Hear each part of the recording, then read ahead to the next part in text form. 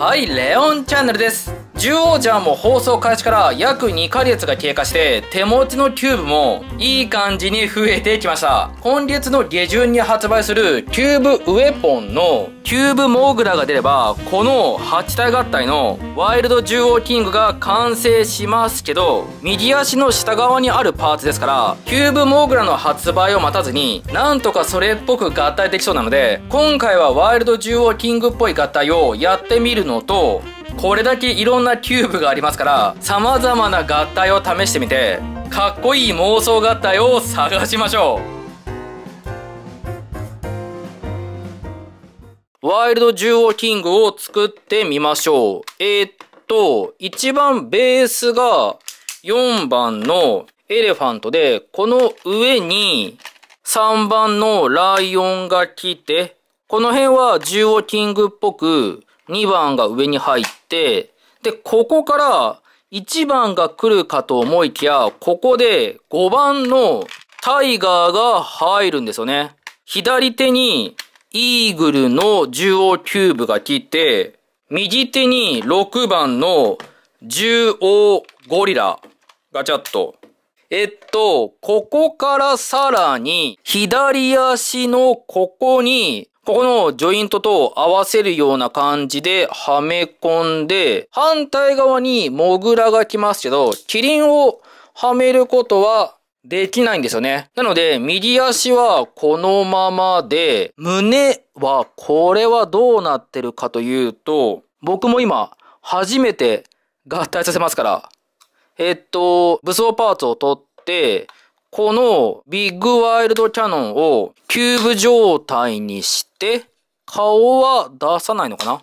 ここの、こういう向きというと、ここのジョイントと、ジョイント、ああ、ここですね。タイガーの爪の部分にジョイントがついてますから、ここに合わせて、はめ込むと。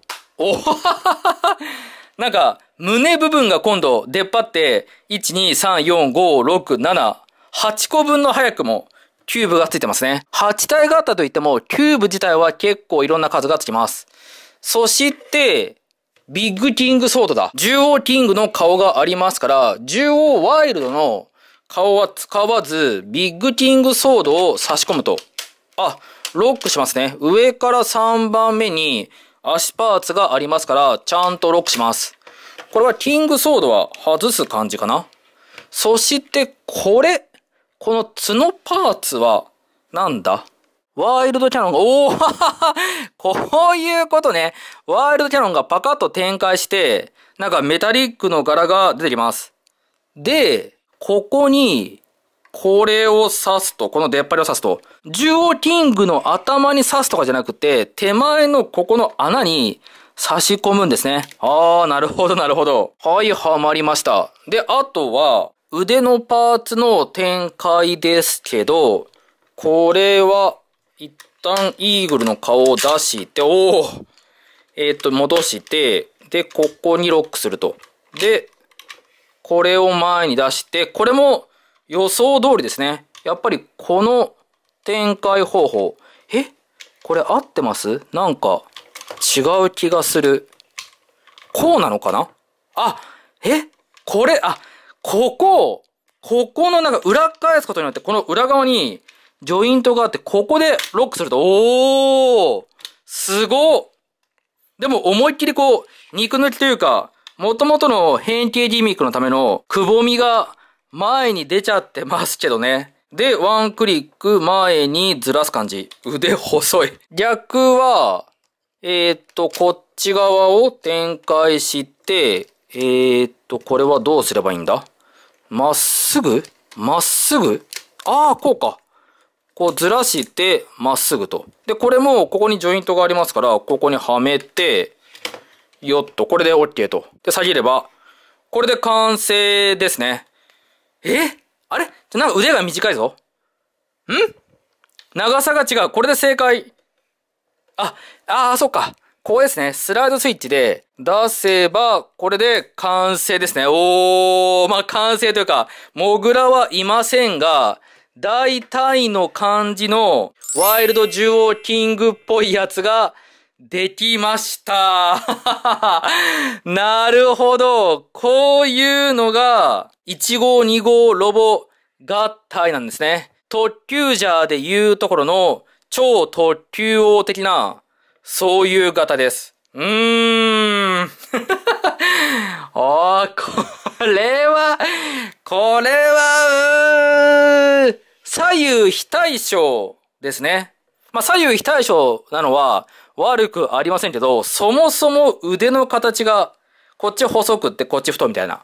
うーん。ここにさらにモグラが来るともうちょっとバランスは、あ、良くなりそうですね。わあ、かっこいいっていう感じではありませんが、まあでもキューブから離れてない、なんかこう、こだわりみたいのは感じますよね。はいはいはいはい。わかりました。じゃあこれを踏まえて、えっと、ここから何か新しいかっこいい合体を探しましょう。そもそもやっぱり、この腕の太さが違うのがダメなんですよ。いきなりダメだし。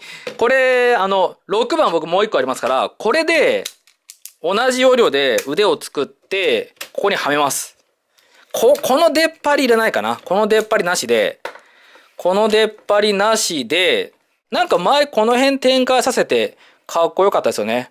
もうちょっとこう統一感、統一感が欲しい。バラバラすぎる感じがしますから、ここは一つ、あ、でもこれをセンターに持ってくることはできないので、タイガーありきですよね。タイガーの下に、右腕と左腕を両方ともゴリラにして、おーあーでも、いけない。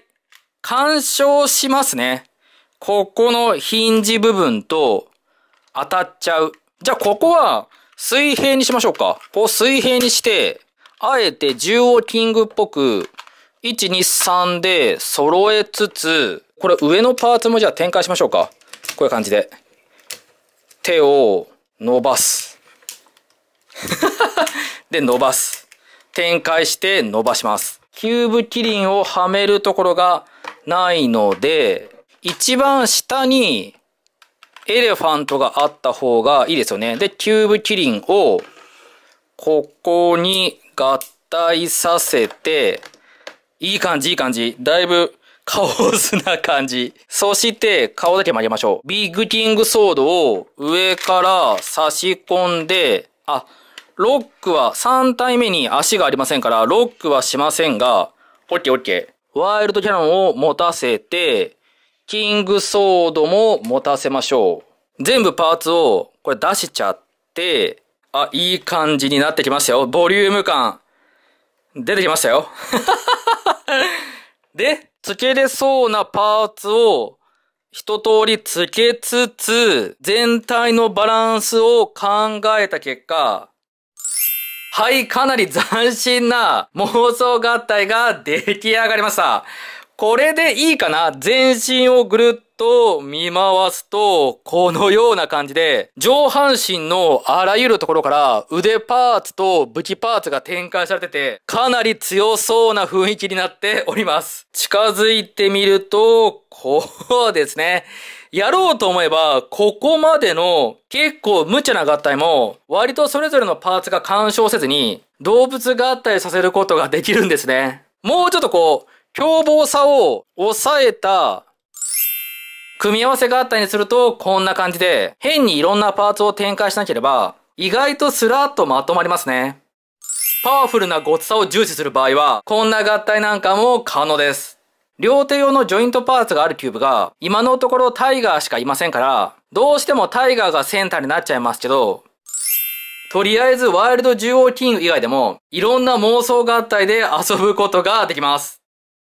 はい、ということで、ワイルドジュウオウキングっぽい合体と、いろんな形の妄想合体をしました。1番、6番あたりのキューブは、合体後にいろんなパーツが展開できますから、様々な武器を持たせたりとか、いろんな角度に向けることができますけど、こういう感じでキューブ同士を引き付けた方が、やっぱり獣王ジャーの合体ロボっぽくなりますね。とりあえず追加戦士が加入する前の、てんこ盛り合体がおおよそこれくらいのボリュームですから、今後6人目が追加された時のスーパー合体は一体どんな形でキューブがはまるんですかねもうジョイント的なものはないような気がしますから今後の動物合体の仕方が非常に楽しみです。以上様々な手持ちキューブを使っての妄想合体動画でした。